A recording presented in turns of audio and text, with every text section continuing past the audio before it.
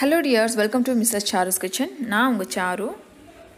இன்றைக்கி நம்மளோட சேனலில் பெரிய நெல்லிக்காயை வச்சு நம்ம புதுவிதமான லஞ்ச் பாக்ஸ் ரெசிபி நெல்லிக்காய் சாதம் எப்படி செய்யறதுன்னு பார்க்க போகிறோம் இந்த நெல்லிக்காய் சாதம் நமக்கு லஞ்ச் பாக்ஸ்க்கு ஈஸியாக ப்ரிப்பேர் பண்ணக்கூடிய ஒரு டிஷ்ஷாக இருக்க போகுது. இந்த நெல்லிக்காய் சாதம் எப்படி செய்யலாம்னு பார்க்கறதுக்கு முன்னாடி நீங்கள் நம்மளோட சேனல் இப்போ தான் ஃபர்ஸ்ட் டைம் பார்க்குறீங்கன்னா கீழே இருக்கக்கூடிய ரெட் கலர் சப்ஸ்கிரைப் பட்டனை கிளிக் பண்ணிக்கோங்க. அதோட பக்கத்தில் இருக்கக்கூடிய பெல் பட்டனையும் கிளிக் பண்ணிவிட்டு ஆல் செட் பண்ணிக்கோங்க.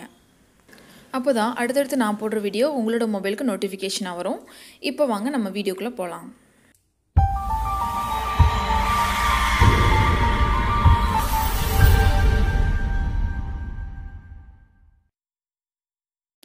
welcome back to our channel இன்றைக்கி நம்ம நெல்லிக்காய் சாதம் செய்கிறதுக்கு தேவையான நெல்லிக்காய் எடுத்துக்கலாம். அதை குட்டி குட்டியாக கட் பண்ணி இதிலிருந்து ஜூஸாக பிரித்து எடுத்துக்கலாம்.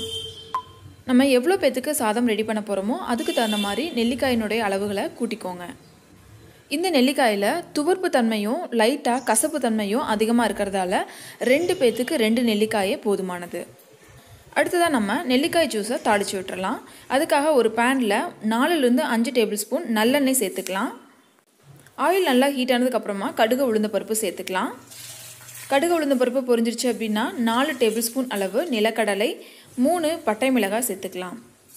கூடவே ரெண்டு கொத்து கருவேப்பிலை சேர்த்துட்டு குட்டி குட்டியாக நறுக்கி வச்சுருந்த சின்ன வெங்காயத்தை சேர்த்துக்கலாம்.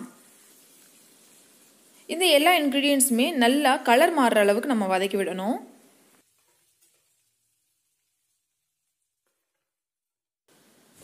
இந்த அளவுக்கு வெங்காயம் நல்லா சுருங்கி வரணும். இந்த ஸ்டேஜில் நம்ம ரெடி பண்ணி வச்சுருந்த நெல்லிக்காய் ஜூஸை இது கூட ஆட் பண்ணிக்கலாம். கூடவே கால் டீஸ்பூன் அளவு மஞ்சள் தூள் தேவையான அளவு உப்பு சேர்த்துக்கலாம். நெல்லிக்காய் ஜூஸ் மற்ற இன்க்ரீடியன்ஸ் கூட கலந்து நல்லா கொதிச்சு வரணும். இந்த மாதிரி நம்ம சேர்த்துக்கிட்ட தண்ணி எல்லாமே வற்றி ஆயில் பிரிஞ்சு வரணும். இந்த ஸ்டேஜில் நம்ம ஸ்டவ் ஆஃப் பண்ணிக்கலாம். இந்த நெல்லிக்காய் கிரேவி நல்லா ஆறணும். இந்த கிரேவி நல்லா ஆறினதுக்கப்புறமா ஏற்கனவே நம்ம சாதம் ரெடி பண்ணி வச்சுருந்துருப்போம். அதுவும் நல்லா ஆறியிருந்துருக்கணும். அந்த சாதத்தை இந்த கிரேவி கூட மிக்ஸ் பண்ணி ஒன்றா கலந்துடலாம்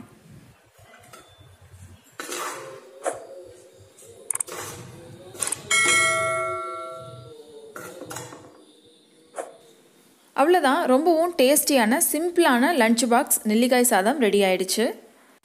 இது கூடவே நம்ம சைடிஸ்க்காக உருளைக்கிழங்கு சிக்கன் இந்த மாதிரி ஏதாவது ஒன்று வச்சு சாப்பிடும்போது டேஸ்ட் ரொம்ப நல்லாயிருக்கும் இந்த காலத்து குழந்தைங்களுக்கு காய்கறிகள் கொஞ்சம் கசப்பு புளிப்பு துவர்ப்பாக இருந்தது அப்படின்னா அவங்க சாப்பிடவே மாட்டாங்க. ஸோ அந்த மாதிரி குழந்தைங்களுக்கு முழுமையான காய்கறிகளோட பலன்கள் போய் சேரணும் அப்படின்னா இந்த மாதிரி ஏதாவது ஒரு விதத்தில் சாதமாக செஞ்சு கொடுக்கலாம். அதுவும் இந்த மாதிரி பெரிய நெல்லிக்காயை பொறுத்த வரைக்கும் எந்த மாதிரியான வடிவமாக நம்ம எடுத்து சாப்பிட்டாலும் அதனுடைய முழு பலன்களும் நமக்கு கிடைக்கும். இன்றைக்கி இந்த வீடியோவில் நம்ம பார்த்த நெல்லிக்காய் சாதம் உங்களுக்கு ரொம்பவே பயனுள்ளதாக இருந்திருக்கும்னு நினைக்கிறேன். இந்த வீடியோ உங்களுக்கு பிடிச்சிருந்தா லைக் பண்ணுங்கள் உங்களோட கருத்துக்களை கீழே கமெண்ட் பாக்ஸில் சொல்லுங்கள் இன்னமும் நீங்கள் நம்மளோட சேனலை சப்ஸ்கிரைப் பண்ணாமல் இருந்தீங்கன்னா சப்ஸ்கிரைப் பண்ணிக்கோங்க. தேங்க்ஸ் ஃபார் வாட்சிங்